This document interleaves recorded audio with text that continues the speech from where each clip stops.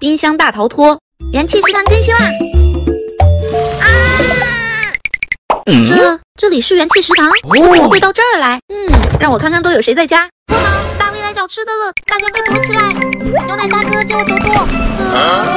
我不干净了，兄弟，救朵朵！我的崽，怎么办？怎么办？有哪里好啊？哦！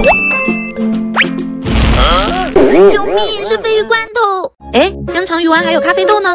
嗯，算了。嗯。大卫，你怎么搞偷袭啊？哼，我是来邀请大家参加元气食堂四周年生日会的，而且偶尔捉弄一下他们也很有趣啊。十二月二十六日，元气食堂四周年生日直播，记得来参加哦。